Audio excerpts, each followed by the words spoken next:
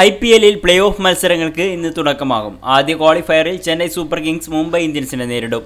ബുധനാഴ്ച നടക്കുന്ന എലിമിനേറ്റർ മത്സരത്തിൽ ഡൽഹി ക്യാപിറ്റൽ സൺറൈസേഴ്സ് ഹൈദരാബാദിനെ നേരിടും. ലീഗ് ഘട്ടത്തിൽ പോയിന്റ് പട്ടികയിൽ ഒന്നും രണ്ടും സ്ഥാനത്തുള്ള ചെന്നൈ സൂപ്പർ കിങ്സും മുംബൈ ഇന്ത്യൻസും തമ്മിലാണ് ഇന്ന് പോരാട്ടം നടക്കുക. ചെന്നൈയുടെ ഹോം ഗ്രൗണ്ടായ എം ചിദംബരം സ്റ്റേഡിയത്തിൽ വൈകിട്ട് ഏഴ് മുപ്പതിനാണ് മത്സരം. ഐ പി എല്ലിന്റെ ഈ സീസണിൽ ലീഗ് ഘട്ടത്തിൽ രണ്ട് തവണ മുംബൈയുമായി നേരിട്ടപ്പോഴും പരാജയപ്പെട്ടിരുന്ന ചെന്നൈ അതിന് പകരം വീട്ടാൻ കൂടിയാണ് ഇന്നിറങ്ങുന്നത്. അതേസമയം മുംബൈയുടെ ലക്ഷ്യമാകട്ടെ ചെന്നൈക്കെതിരെ വിജയക്കുതിപ്പ് തുടരുക എന്നതാണ്. മുൻനിര ബാറ്റ്സ്മാൻമാർ പ്രതീക്ഷക്കൊത്തുയരാത്തതാണ് ചെന്നൈക്ക് തലവേദന നൽകുന്നത്. ഓപ്പണർ ഷെയ്ൻ വാട്സൺ ഈ സീസണിൽ വളരെ മോശം ഫോമിലാണ് കളിക്കുന്നത്. എന്നാൽ ഇങ്ങനെയാണെങ്കിലും നിർണായക മത്സരത്തിൽ വാട്സനെ പുറത്തിരുത്താനുള്ള സാധ്യത വളരെ കുറവാണ്. മുംബൈ നിരയിൽ യുവരാജ് സിംഗ് എന്നും പുറത്തിരിക്കേണ്ടി വരും. വിജയം തുടരാൻ മുംബൈയും പരാജയത്തിന് കണക്ക് പറയാം. ചെന്നൈയും വൈകിട്ട് ഏഴരക്ക് ചിദംബരം സ്റ്റേഡിയത്തിൽ ഏറ്റുമുട്ടുമ്പോൾ അഞ്ചാം ഫൈനലാണ് മുംബൈയുടെ ലക്ഷ്യം. ചെന്നൈ ആകട്ടെ എട്ടാം തവണ ഫൈനൽ ലക്ഷ്യമിട്ടാണ് ഇന്ന് കളത്തിലിറങ്ങുക.